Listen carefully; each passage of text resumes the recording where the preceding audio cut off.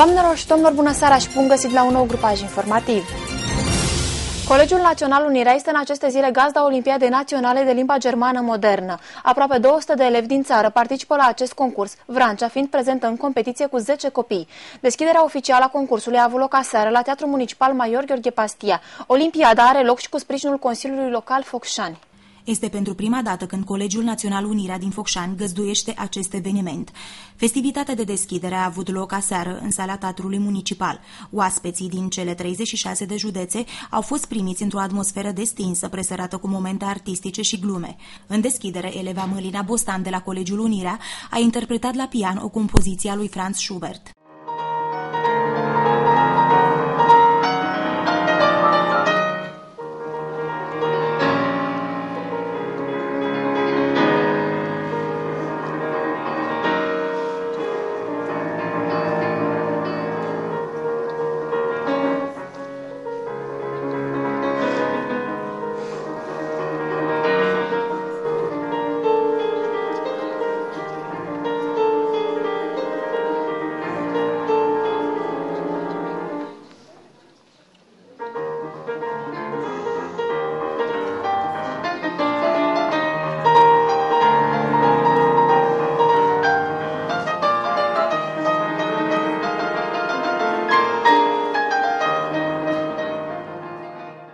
Cei care nu știau prea multe despre județul în care au ajuns au putut afla dintr-un filmuleț care a rulat și care a adus în atenția publicului și detalii despre colegiul gazdă. La 10 august 1865, Ministerul Justiției, Cultelor și Instrucțiunii Publice comunică primăriei că aprobă înființarea unui gimnaziu la Focșani. Știrea face senzație în oraș. În sfârșit, focșănenii își vedeau visul cu ochi. În condiții modeste la început, dar dătătoare de speranțe, s-au deschis cursurile gimnaziului Alexandru Ioan I, în ziua de 7 ianuarie 1866. Viitorul liceu Unirea, la acea dată avea 50 de elevi și un singur profesor, Ștefan Neagoie. Deschiderea oficială a fost efectuată de către directorul Colegiului Național Unirea, profesorul Cornel Noană, urmat de inspectorul școlar general Vasilica Zaharia. Mă numesc Noană Cornel, sunt profesor la Colegiul Național Unirea, gazda voastră mâine, și în această calitate ne-am permis să facem și o mică prezentare a liceului. Sunt uh, personal unul care încă mai poate să suporte reformă și mai am o calitate care se va transforma, bănuiesc, în defect până la sfârșitul Olimpiadei acestea. Sunt vicepreședinte al Comisiei de Organizare. Așadar, sunt pianistul în care puteți trage cât vreți și când vreți, în direct sau pe rețele de socializare. Deși suntem un județ în care limba germană nu este la ea acasă, să spunem, noi totuși suntem gazdele dumneavoastră. Ne-am străduit ca perioada pe care o veți uh, petrece la Focșani să fie cât mai frumoasă, chiar dacă este un concurs care vă va solicita Uh, pe mulți dintre dumneavoastră, în mod deosebit pe elevi, uh, ne dorim ca tot ceea ce veți trăi în aceste zile la Focșani să vă rămână în amintire ca o perioadă frumoasă în care veți lega prietenii, prietenii durabile și vă mai doresc să vă amintiți cu mare drag de Focșani, de Colegiul Unirea. Sper ca și cu elevii de la Colegiul Unirea să vă prieteniți, să socializați și, nu în ultimul rând, vreau să vă felicit că ați ajuns în această etapă, că sunteți cu toții câștigători. Chiar din acest moment sunteți câștigători. Sunteți la o etapă națională și nu este puțin lucru. Din partea primăriei Focșani a vorbit viceprimarul Marius Iorga. Am încercat să vă oferim o săptămână frumoasă în Focșani, să vă simțiți bine și să vă gândiți doar la, la Olimpiada pe care Uh, o aveți în fața dumneavoastră.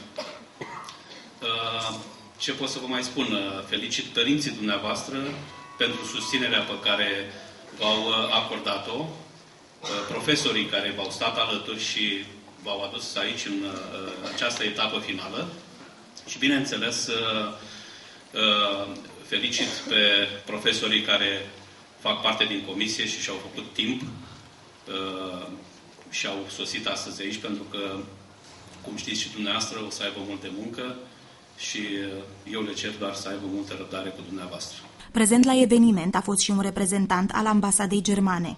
Efortul dumneavoastră este cu atât mai uh, important cu cât uh, uh, învățarea, studiul limbii germane uh, uh este, uh, nu este unul facil și aici trebuie să adresăm mulțumirile noastre profesorilor de limba germană care v-au um, ajutat să ajungeți la acest nivel.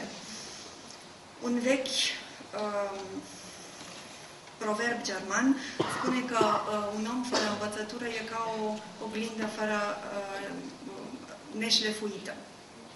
Uh, educația este înainte de toate cel mai important și mai prețios bun pe care uh, suntem datori să-l dăm uh, uh, copiilor noștri uh, pe tot parcursul vieții. Acest eveniment a fost organizat cu sprijinul Consiliului Local și a Primăriei Municipiului Focșani. Consiliul Local al municipiului Focșani, în calitate de coorganizator al Olimpiadei de limba germană, etapa națională, a alocat de la bugetul local suma de 30.940 de lei, constând în bani pentru cazare și masă și materiale promoționale.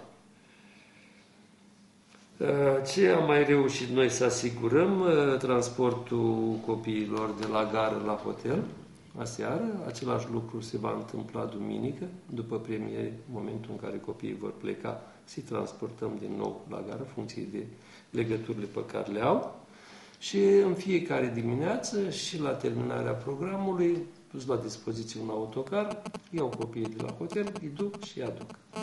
Pe această cale vreau să mulțumesc Ministerului Învățământului, Inspectoratului Școlar, al județului Vrancea și celor care s-au implicat în organizarea acestei olimpiade. Din punctul meu de vedere, este un lucru frumos și deosebit, pentru că municipiul Focșan poate să organizeze o astfel de Olimpiadă Națională. Pentru cei care participă, în primul rând vreau să-i felicit, să felicit pentru că e un lucru deosebit că au ajuns la faza națională, atât pe cei care participă, cât și pe domnii profesori care i-au pregătit, să le urez succes și cei mai buni să câștige. Olimpiada își va premia câștigătorii duminică începând cu ora 9 la Teatrul Municipal Major Gheorghe Pastia.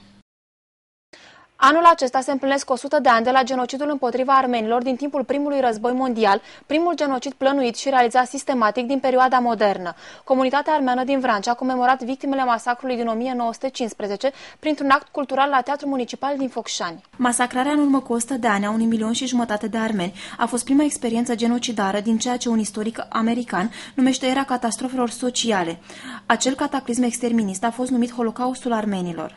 Genocidul armean, cunoscut ca și Holocaustul armenilor, Metz Yekern, în uh, armeană, în Marele Rău, se referă la două evenimente distincte, dar care au legătură între ele. Primul e vorba de campania condusă de sultanul Abdul Hamid între anii 1894 și 1896, și a doua este vorba de deportarea și eliminarea armenilor de către guvernul jurilor turci între anii 1915-1916, perioadă a primului război mondial, când, așa cum bine știm, guvernul jurilor turci, de teama ca armenii din Turcia să nu se alieze cu rușii, care însemnau uh, un pericol uh, extraordinar, și având și un sprijin din partea Franței, ar fi putut să-și capete autonomia și să fie într-adevăr o republică într-o zonă, într-un teritoriu pe care lor, turcilor, nu le-ar fi convenit.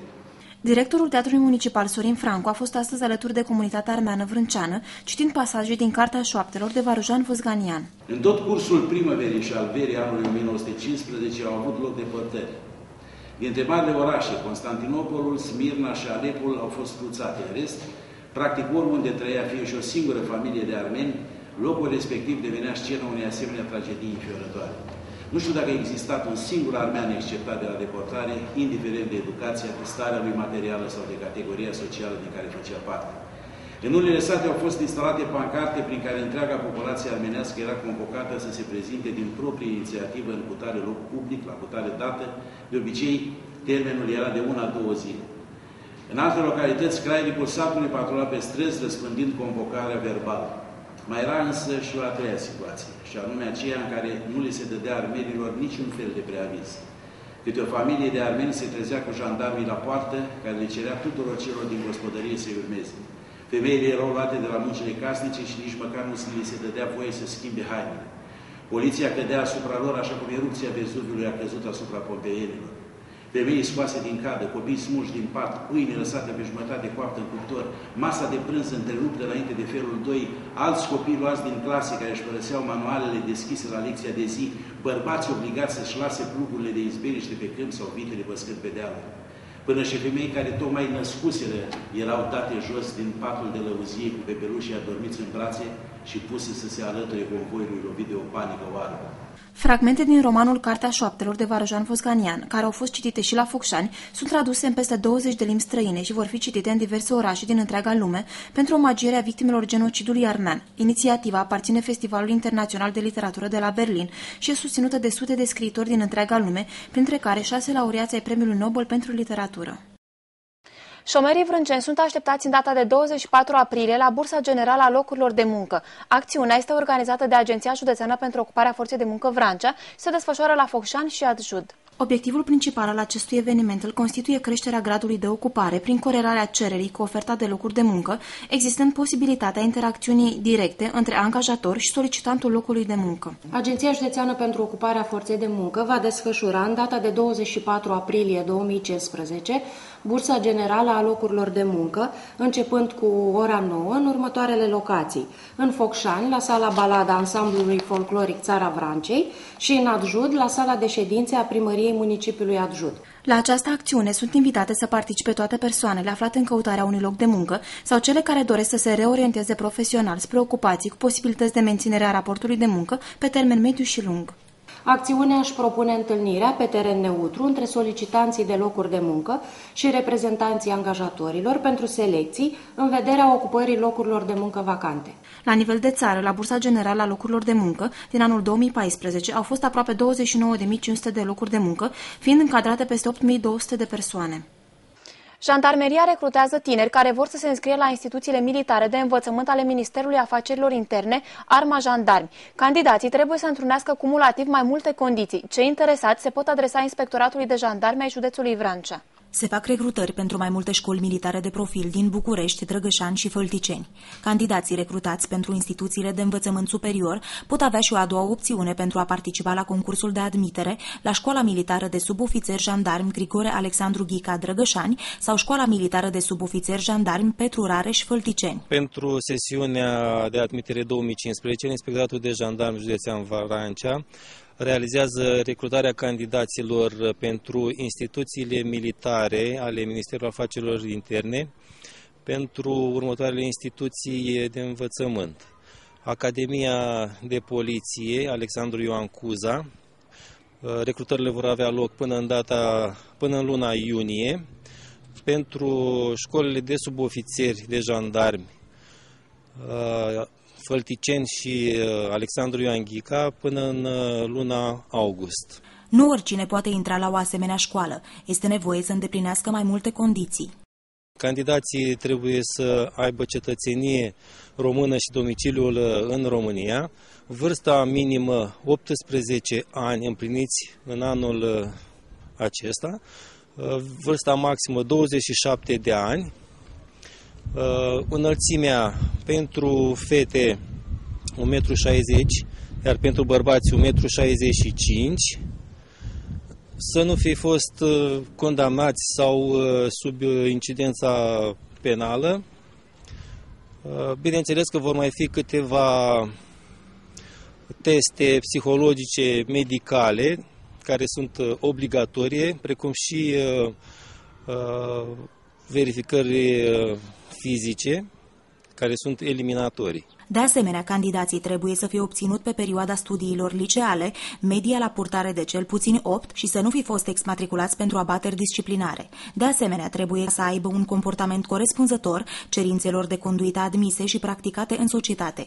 Mai multe informații se pot obține de la compartimentul Resurse Umane al Inspectoratului de Jandarmi Vrancea la numărul de telefon 0237 215 303, interior 24535 sau la adresa de e-mail jandarmeriavrancea.arondiahu.com.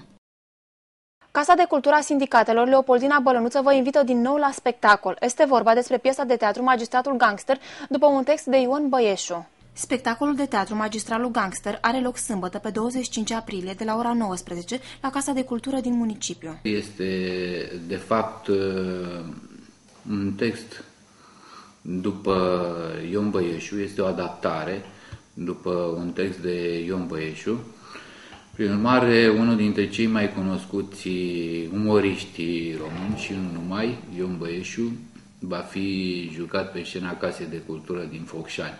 Regizorul acestui spectacol este Marina Cristina Malaia. Marina Cristina Malaia a fost asistent de regia lui Horaciu Mălăiele, Ion Caramitru și Alexandru Tocilescu. A regizat piese care se joacă în prezent pe scenele din țară și a obținut premiul întâi la Festivalul de Film Future Movie din Galați în anul 2010. Personajul principal și cel mai cunoscut uh, dintre cei trei actori care vor evolua pe scena Casei de Cultură este Toni Ionescu, sau mai bine zis să-l prezentăm după personajul pe care l-a jucat în serialul Trăzniți în NATO, un cunoscut serial de, pe, de la o televiziune centrală.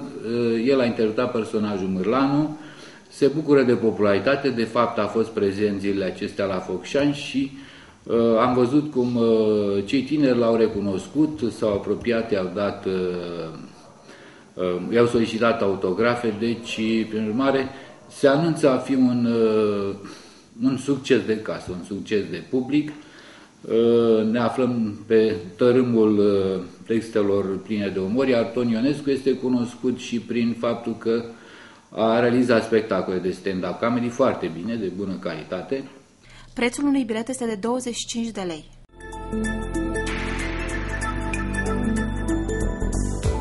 La final vă prezentăm prognoza meteo pentru următoarele 24 de ore. Vremea va fi închisă ca aspect, cerul va fi parțial acoperit și va ploa, iar vântul va sufla în general moderat. Temperaturile minime se vor încadra în jurul valorilor de 2 și 4 grade, iar cele maxime între 11 și 13 grade. Doamnelor și domnilor, aici punem punct știrilor Atlas TV de astăzi. Vă mulțumim pentru atenție, vă dorim o seară cât mai frumoasă. La revedere!